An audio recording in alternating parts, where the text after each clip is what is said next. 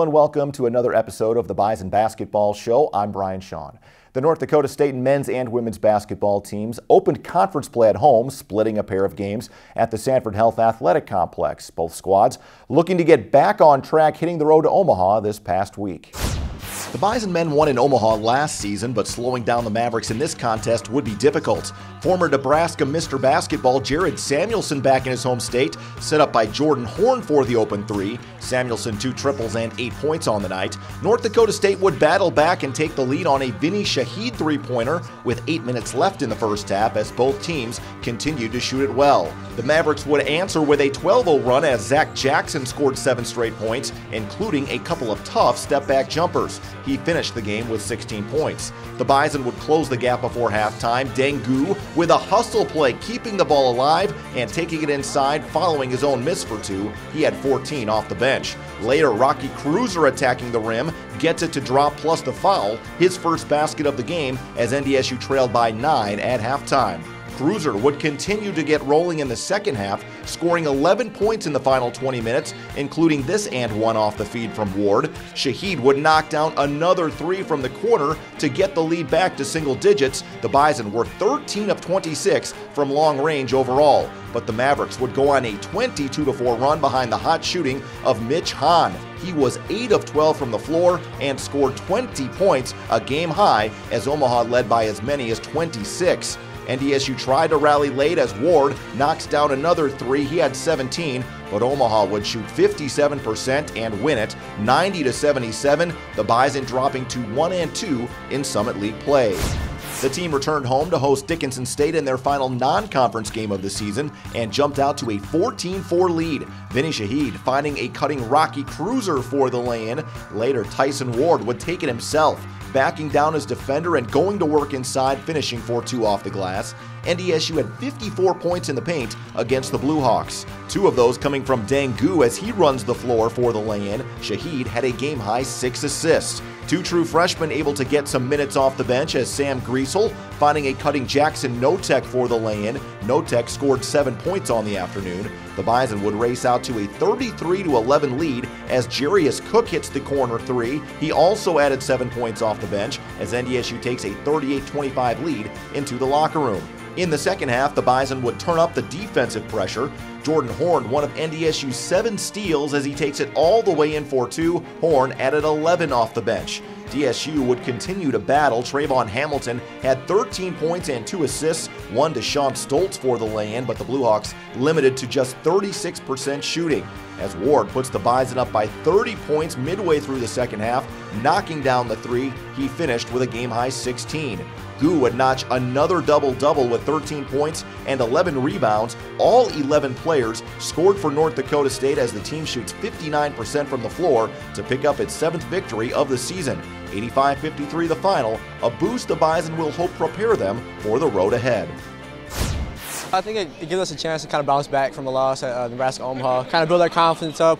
Um, obviously, they're a really good, talented NAIA team. Uh, we just want to come out here, build some confidence, play the right way, do what we're best at. I think our energy is one big thing. Um, we bring our energy like we did in the second half. We kind of lost that at the end of the first half, going into the uh, second half. So I think our energy and confidence and talking on defense will be a big thing going into the rest of the season. Uh, guys that haven't been in the rhythm, it gives them a chance to get a rhythm. It gives our young guys some chance to get some experience, uh, just in case we need them in moments and the Summit League play. And it, it, overall, it just gives us, you know, a chance to come out of the team and build chemistry. It helps us find ourselves defensively. It helps us find our culture. Um, you know, it gives us some time to practice. You know, see other teams and see what other teams are doing in the summit. Um, it gives us a little bit of a break uh, some more to speak mentally, not physically. Sunday's game was also a homecoming of sorts for Dickinson State head coach Josh Vaughan. He is a former North Dakota State guard that played for the Bison from 2005 to 2010 and was a member of the coaching staff up until 2015. Yeah, it's a lot of fun. Uh, anytime you get a chance to come back to where you, you know, went to school, your alma mater, got to take that opportunity. And uh, you know, we played okay today, but it, it was a lot of fun being here. You know, every day is a chance to compete and get better. Obviously, playing a team, a Division One team for us is um, they're a lot more physical and bigger than we are, so it's harder for us to do things that we normally do. So um, we got to take that opportunity as far as cutting hard and getting open and doing those things that we want to do um, to just to better ourselves and to get better for our team. Stay with us after the break. NDSU men's coach Dave Richman is in studio to break down the past week and look ahead to a meeting with Western Illinois. That's after this. The Bison Basketball Show on Midco Sports Network is presented by Nodak Insurance Company and Sanford Orthopedics and Sports Medicine.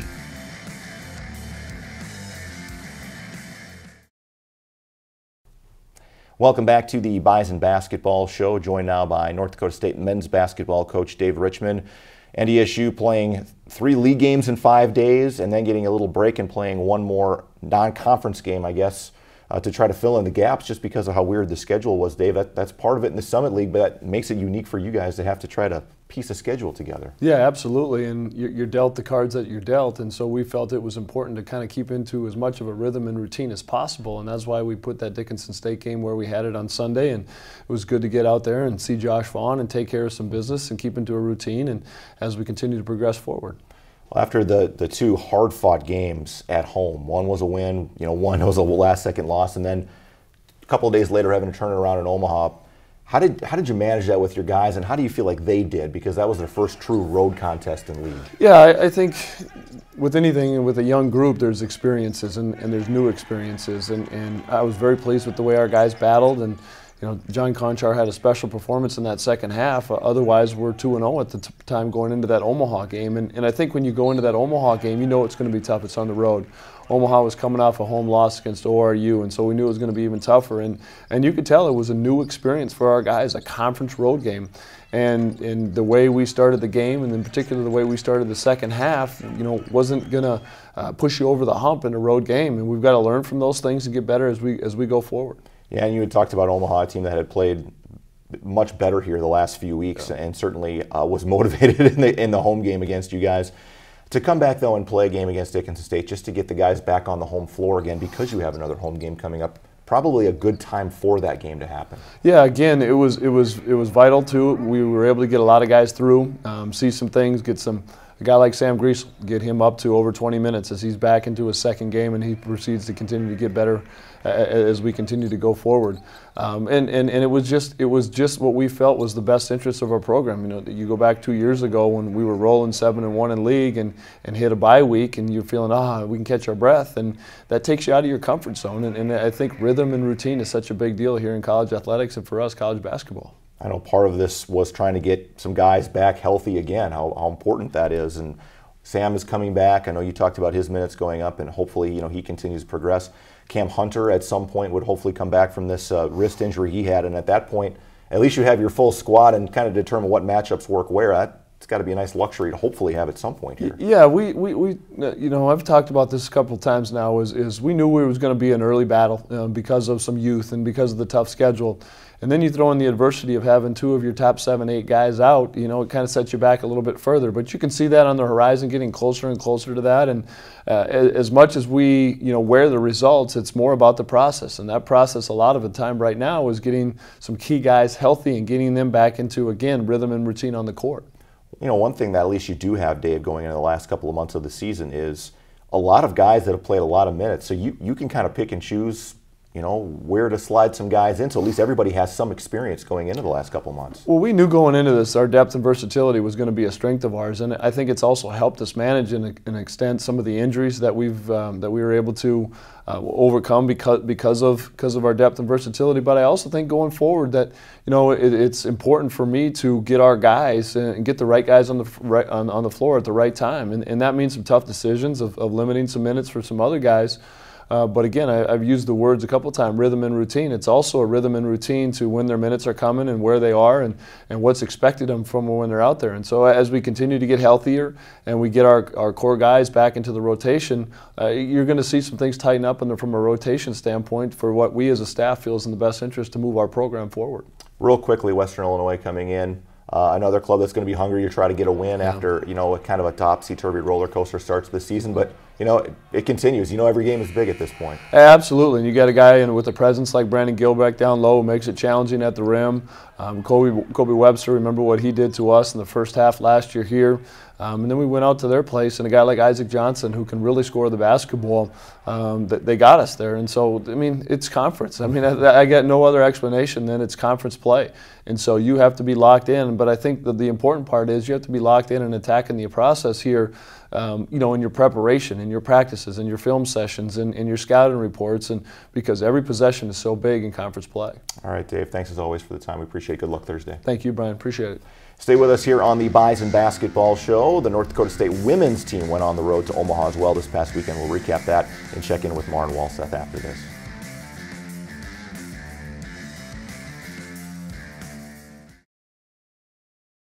Welcome back. The North Dakota State women's basketball team had a whole week to prepare for its first conference road game of the season at Omaha, a team that swept the Bison last season. The Bison looking for their first ever victory at Baxter Arena, down 7-0 early. Riley Nudell getting the feed inside and scores. She had 12 points off the bench, but the Mavericks extend the lead to double digits early in the second quarter. Kylie Coulter would fire up the three and bank it in to put Omaha up 25 11, but North Dakota State would respond with a 14 0 run. Marina Fernandez hitting her only three of the game to get it started. Later, Tyra Spencer would also hit from long range thanks to a very friendly bounce at the rim. She added seven points, five rebounds, and four steals. We're tied at 25. Just before halftime, Rayana Carter pulling up and knocking down the jumper. She scored 16 for the Mavs, and it's a six point game. In the third quarter, Michelle Geislerova made her first three pointer of the contest, but was only 4 of 19 from the floor overall. Emily Dietz also in double figures scoring with 10 points and 5 rebounds. The three point play cuts the lead to 10. Sofia Javalovic would also convert a three point play with just over six minutes left in the fourth quarter, which would again keep the Bison within striking distance. But Omaha would close out the game strong, scoring 26 points in the final quarter. Elena Pilakuta, the offensive rebound and putback, and the Mavs go on to win it 78 61. The Bison were just 5 of 24 from three point range as Omaha shot 50% in the second half. We now welcome in NDSU women's basketball coach Maren Walseth to the set uh, to talk about the Bison women's game at Omaha this past weekend. And Maren, uh, we were just talking that you had a good week of practice leading up until that game and then got down there and some things didn't go your way. How would you kind of take us through the last seven days? You know, I really thought that uh, through our individual workouts and our team practices last week, strides were made. Um, strides were made in playing for each other and fighting through a little bit of fatigue with a little bit of grit. Um, we had a fantastic Christmas celebration um, also leading up to it. Uh, and then we go down to Omaha, and it really wasn't the same group. Um, so there's still some soul searching to be had, um, but at the same time, it's our group. They love each other, they play hard you know, for each other. So we're going to keep plugging. And now, as you come back uh, and kind of get right back to it again, all of a sudden you're back on your home floor again. And it wasn't that long ago you were here, but it still feels like it was a while ago because of the break that you had from conference games one and two to conference game three, and now to conference game four against Western Illinois. Is that is this a good time to have some extended breaks earlier in January before school gets going, or how would you describe it? I, I think it is. You know, there's a bit of balance in our schedule, there's a bit of unbalance in our schedule. At the end of the day, everybody's fighting some of the similar uh, inconsistencies with the schedule. So, um, you know, having two games in, a, in, a, in, two weeks gives us a lot of practice time. So, you know, here we go, starting school again on Tuesday, getting back back into that routine, getting our practice players back to have uh, more spirited, more competitive practices. That will help us as well. Uh, and then we're yes, we're welcome. We're happy to be welcoming Western here on Friday in another home game. And as you get to this point in the year too, this is where you got to try to push kids through, you know, some of these tough, I don't know what you want to call it, roadblocks or whatever that they have, whether it's physical or mental, whatever it may be. Do you do that more of that in individual workouts or more in a team setting, or how do you balance the two between those at this point in the year? I think there's a little bit of both, but certainly in our team setting, it's, you know, we're not tired. We get to play basketball. There's plenty of kids who are doing other things, maybe have to work full time to pay for their schooling. You know, we get to do this. So let's enjoy it because there are long days, there are tough days. There are days you come into the gym and the sun's out and you go out of the gym and, you know, the sun's already set. Uh, but it's embracing that, that we're just going to keep grinding and this is fun. We, we've chosen to do this and let's enjoy it. Western Illinois coming to town um, this weekend. A team that will test your fatigue because they love to get up and down the floor, and um, they almost force you at times to play their pace. In some ways, this I guess is going to be a good test to see where your team is at going forward as well. It is. You know, Western's a unique team, uh, unique on offense and unique in the style of defense that they play. So this will be a good challenge for us in how can we continue to work and control the pace that we want to play while also rebounding. I think the dictating the pace of play and, and controlling the boards will really dictate who wins the basketball game on Friday. Well, thanks as always for the time, time Marn. We appreciate it, and uh, good luck against the Leathernecks coming up here on Friday. Thank you. Maren Walseth joining us here on the Bison Basketball Show. Stay with us. One of the lone seniors, well, the only senior on the Bison women's roster this year is Marina Fernandez. We go one on one with her after this. The Bison Basketball Show on Midco Sports Network is presented by Nodak Insurance Company and Sanford Orthopedics and Sports Medicine.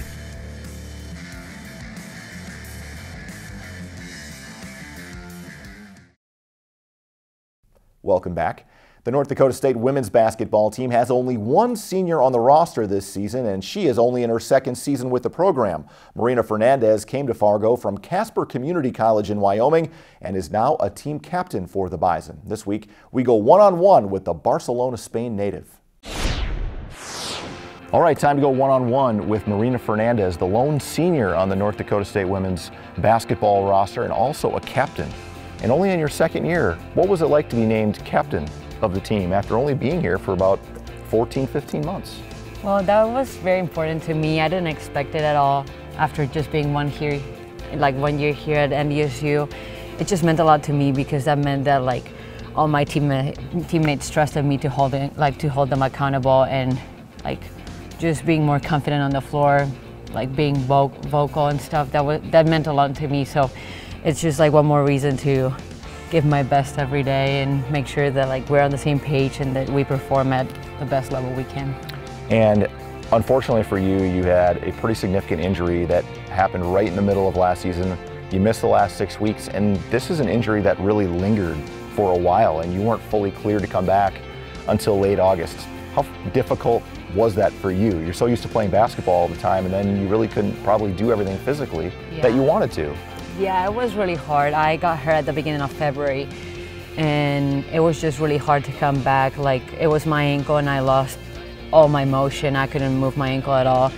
And it was just rest and time, patience, and I, it, was, it was just really frustrating for me to just like be on the sidelines, be on the bench, just cheering for my teammates, which, I mean, I'm always there for them, but it's just really hard to just watch from the outside. It makes you value just the opportunity to be on the floor and give your best every time.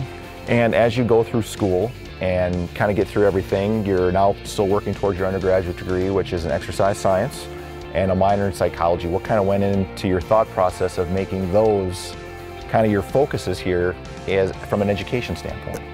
Well, I was just really interested in both um, subjects, like exercise science. I don't know, I just thought that it was really cool to like get to understand like how our body works, especially like playing basketball or like being an athlete, like our bodies are just so important and I don't know, I just think that it was really cool, especially with injuries, working with injuries and getting athletes back, you know.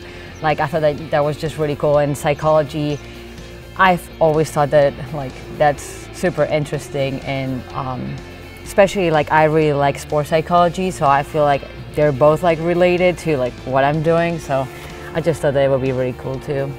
One thing that's unique about North Dakota State's women's basketball team is you talk about being vocal and trying to get everybody vocal, but a lot of people speak a lot of different languages because you have players from all over the world. What's it been like getting to know, you know, and, and make a bunch of friends, getting to know a bunch of women from all over the place that are here? I mean, I'm really enjoying it. Right now it's five of us. I, we have Raquel from Spain, so that's pretty cool. I get to speak Spanish with her sometimes.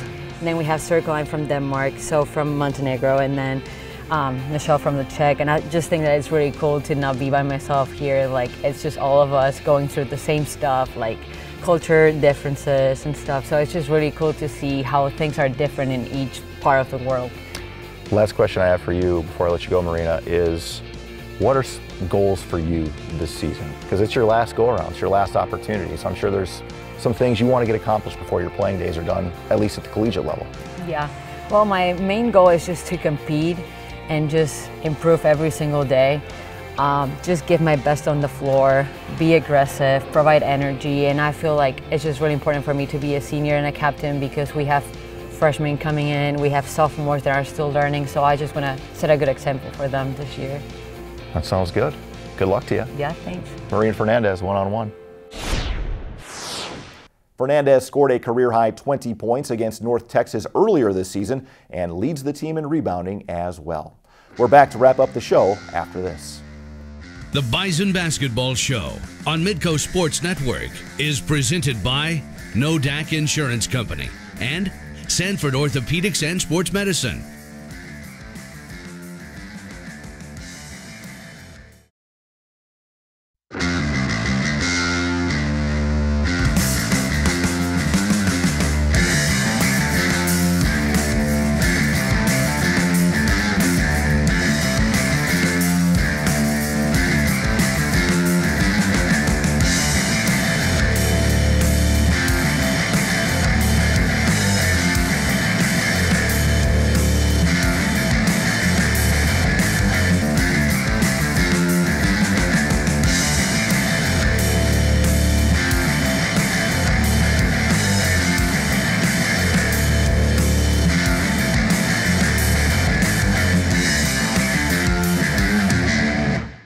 Back to put a wrap on this week's show as we get you ready for the upcoming week. The North Dakota State men and women are back on their home floor. The men hosting Western Illinois on Thursday night at 7 p.m. on Midco SN2. The Bison women also hosting the Leathernecks the following evening on Friday at 7 o'clock. That contest is also on Midco SN2 as well.